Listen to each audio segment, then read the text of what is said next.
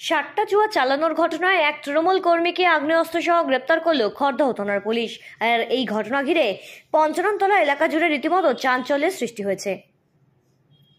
পানিহাটি পৌরসভার অন্তর্গত একুশ নম্বর ওয়ার্ড, পঞ্চরণতলা এলাকায় সাতটা জুয়া দীর্ঘদিন ধরেই এই আড্ডা বসত। এর সাথে জড়িত তৃণমূল কর্মী বাবলু কর্মকার ওরফে পেঁয়াজ ছোটকা।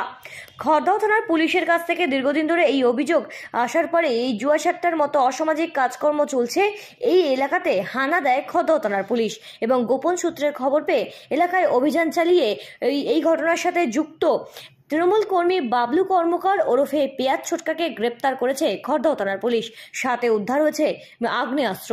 অভিযুক্তকে পাঠানো হয়েছে ব্যারাকপুর আদালতে। ব্যুরো রিপোর্ট, সঠিক বার্তা।